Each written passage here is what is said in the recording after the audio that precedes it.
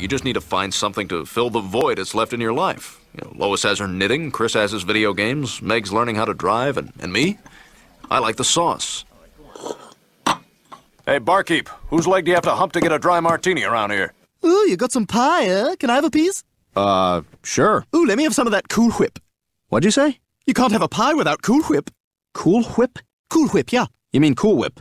Yeah, Cool Whip. Cool Whip. Cool Whip. Cool Whip. Cool Whip. You're saying it weird. Why are you putting so much emphasis on the H? What are you talking about? I'm just saying it. Cool Whip. You put Cool Whip on pie. Pie tastes better with Cool Whip. Say whip. Whip. Now say Cool Whip. Cool Whip. Cool Whip. Cool Whip. Cool Whip. Cool Whip. You're eating hair! Is, is, is that a new coffee machine? Oh, yeah, I took the liberty of replacing your old one with a new American made coffee machine. In fact, I got you a bunch of new top notch American made stuff. What else did you buy? Oh, a couple things. That light fixture, new heat regulator on your stove, your man bra, your garbage disposal, your dishwasher, and your new cat.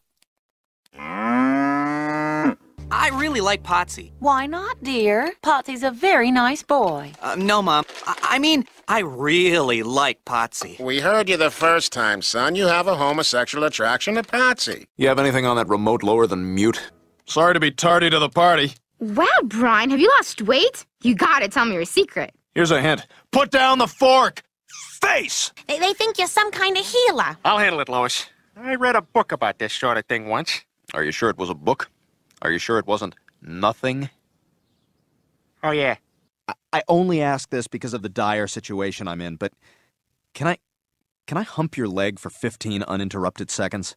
I suppose so, Brian. I, I said you could do it for 15 seconds. Didn't need it. Jillian and I have a great time together. We make each other laugh. Fine. But just tell me this, Brian. Does she laugh on her own, or does she laugh only when you laugh? I thought so. Hey. Yeah. Uh-huh. Uh-huh. Uh, you, you gotta hit uh, DVD and then menu and then select. Yeah. The, the DVD needs to be face up when you put it in. Uh-huh. You should be able to see the words Mr. 3000. Yeah. Still nothing? Is it plugged in? Okay, so plug it in. Okay. You, you got it? Is, uh, okay. All right. No, no problem. All right. I love you too, Jilly Bean. Okay. What? Nothing. I didn't say anything. Wow, a song named after a girl. There aren't a million of those already. Name 20. Rosanna, Roxanne, Michelle, Allison, Sarah, Angie, Brandy, Mandy, Gloria, Cecilia, Maggie May, Jessica, Nancy, Barbara Ann, Billie Jean, Layla, Lola, Polly, Helena, Jenny from the block. Name six more. Sherry, Laura, Wendy, Maria, Peggy Sue, Minnie the Moocher. Name five more. Tracy, Jean, Jane, Mary Ann, Eleanor Rigby. Go fuck yourself. Oh my god, Brian, there's a message in my alphabet. It says, ooh. Peter, those are Cheerios. Well, I've got a woman story for you that you're not going to believe. Quagmire's father, decorated war hero Lieutenant Commander Dan Quagmire, is now a woman. You're kidding. Nope, total sex change.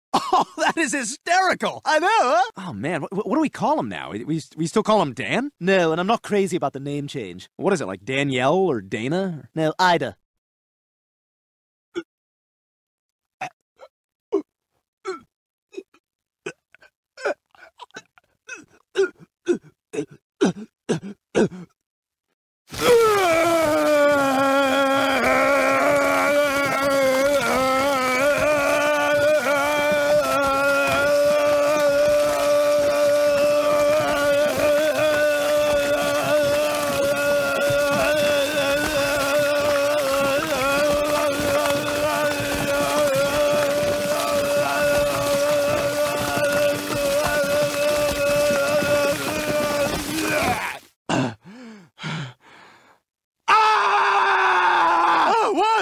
What's wrong with you? I had sex with her! What? I had sex with her at the Marriott! Oh, why? I didn't know! I didn't know it was her! Oh my god!